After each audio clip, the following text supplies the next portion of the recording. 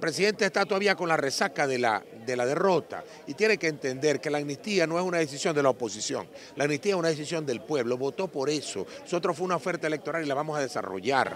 Aseguraron que esperan sea puesto en libertad de inmediato.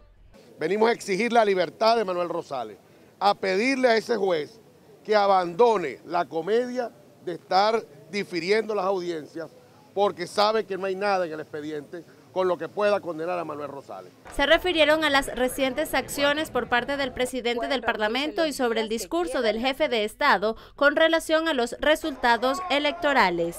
La realidad es que somos 112 parlamentarios electos de la Unidad Democrática. 112. Y estos 112 parlamentarios electos de la Unidad Democrática vamos a ejercer nuestros derechos constitucionales. Y Nicolás si tiene ganas de pelear que busque a alguien en su casa, porque nosotros no lo va a encontrar. Tiene bastante gente en el peso con la que pelear, que además consideran que él ha dirigido mal los destinos de su partido. Con nosotros no va a encontrar eco para eso.